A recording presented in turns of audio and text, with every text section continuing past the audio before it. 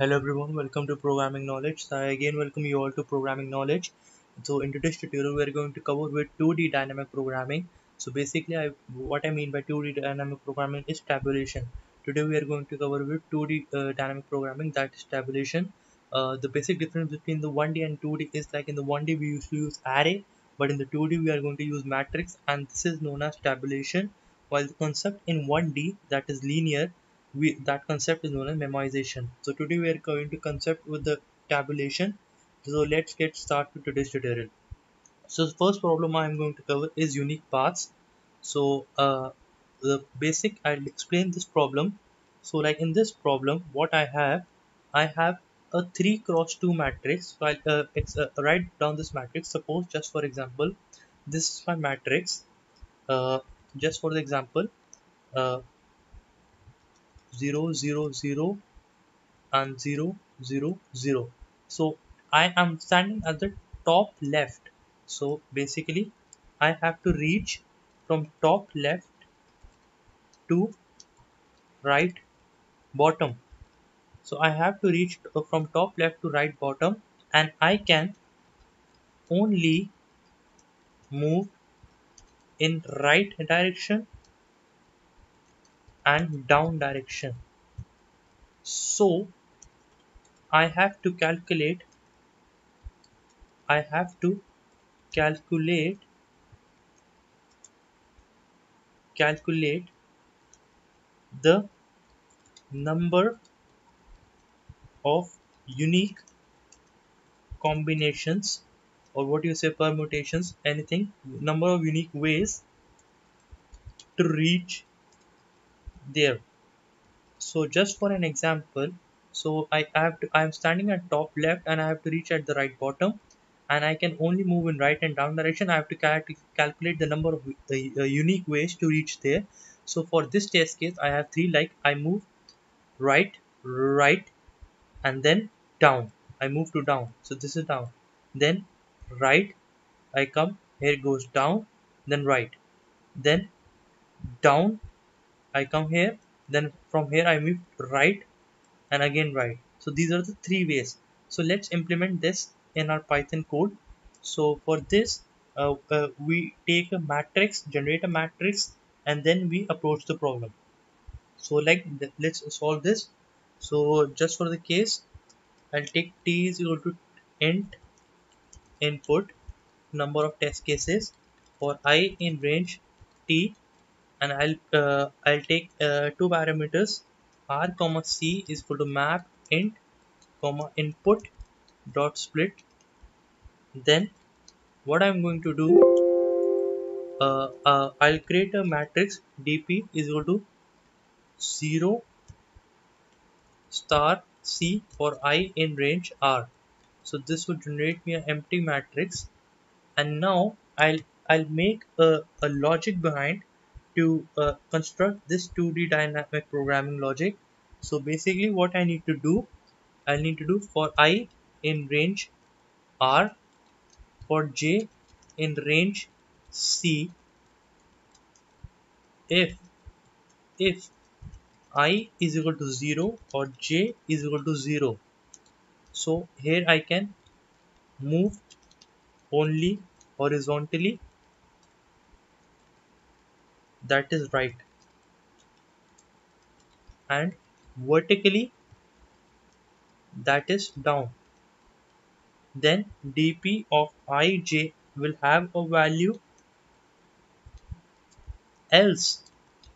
I'll calculate a value of dp of ij okay so basically now I have two values. So one is move only horizontally and vertically that is if i is equal to 0 or j is equal to 0 else else I have a choice. Because if you are in the first row or in the first column so you can only move in one direction. That is in column you can move vertically down and in the uh, row you can move uh, horizontally right. Though I have a choice that uh, like here I can move I can move only one direction only in one direction.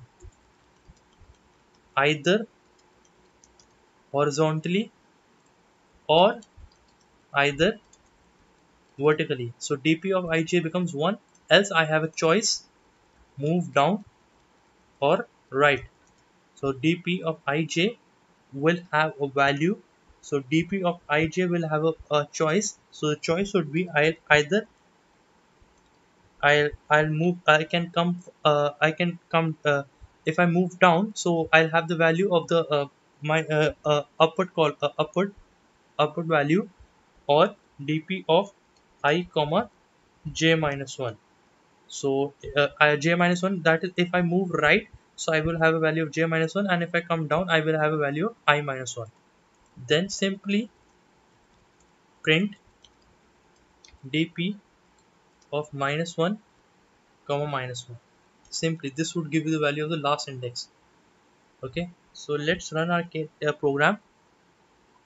And uh, I'll give two values 3 comma 2 so I'll give two uh, two test cases 3 comma 2 so this this gives me the first value of 3 another test case I am having here is 7 comma 7 and 3 so let me run this 7 and 3 perfect. So this uh, completes our one program.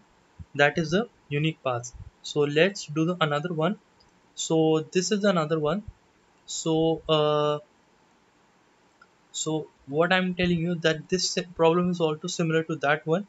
So I have to move I'm standing at the top left and I have to reach at the right bottom. I can move only in uh, right and down direction. But now calculate the minimum cost. Calculate the minimum cost to reach there. The first brute force solution that comes in our mind is that we generate all the paths and then we calculate the cost for each part but that's a brute force solution. The optimal solution would be done using the dynamic programming. So let's uh, do this using dynamic programming. So what I'll do I'll copy this template because this is very much the same and now what I'm going to do uh, since I would take an input matrix so I'll take dp is equal to empty list. Okay first I'll remove this. Yeah perfect. Dp is an empty matrix for i in range r. So I'll take a list dp dot append list map comma int comma input input dot split. So this would I, I would fill my matrix initial matrix. Now I have to go for, with the cost. So that's very interesting. For i in range 1 comma r. So this is the one. So and the similar we do for j in range 1 comma c. And the next we do for i in range r for j in range c and then in the end we print dp of minus 1 comma minus 1 so we have got our template for this question to solve. This is very much similar to the last one. So so first calculate the min cost min cost for row wise. Okay? So when I have a min cost for the row wise so you can see dp of of i comma 0 plus equal to dp of i minus 1 comma 0 because uh, uh, I told you that uh, if you are in the first row and the first column you have only one choice to move. That is either uh, horizontally or vertically depending on the row and the column. So the simply the second one would also apply for the same. So here let's do this dp of 0 comma j plus equal to dp of 0 comma j minus 1 okay so move min cost for call column wise. Because uh, here you can see we can have not much of the choice. Either you can move horizontally or uh, or horizontal or vertical depending on the first row or in the first column but now I have a choice. Choice to take minimum. So dp of ij is equal to minimum of dp of i minus 1 comma j comma dp of i comma j minus 1 so perfectly fine. So just choice to take minimum either vertical uh, because uh, either right or down. So and this in this one we were uh, we had a choice to uh, we had a choice. So we were making only one choice. Either we make minimum for row wise and minimum for column wise because we can only make in one direction the first one and the first column. But when we get out of that first row and the first column then we have a choice. So let's uh, run our test cases so this is the path and the path we're going to take is 13111 so that is the minimum cost you're going to take. So let's run this test case. Invalid syntax. Okay let me debug. For i in range r. Yeah i had an error in here. Yes. So this should be dp yes perfectly fine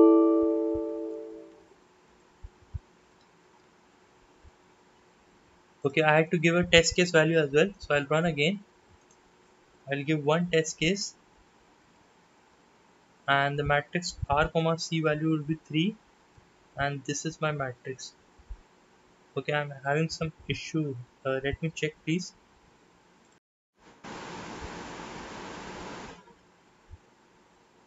Yeah. So uh, uh, hello welcome back to all uh, i had an error like uh, like first error was that that i had to take the indexing from 1 comma r and 1 comma c. And uh, then i had to uh, also get the i have to add the value. So i had to put a put a plus symbol here. So after putting that plus symbol uh, I can now uh, reach my desired uh, value. So let's run a test case. And now I'll show you I'll copy the test case. Yeah perfectly. So I'll give get the value as 7 okay so you can also trace that matrix also. How did we reach that value? And this is the way you will get. So uh, like one so like in the same way you can see we have 1 then 3 that becomes 4 then we have value becomes 5 then 6 and then 7 we reach that value. Perfectly fine. So thank you guys. Thank you so much. Uh, so i'll catch you in the next video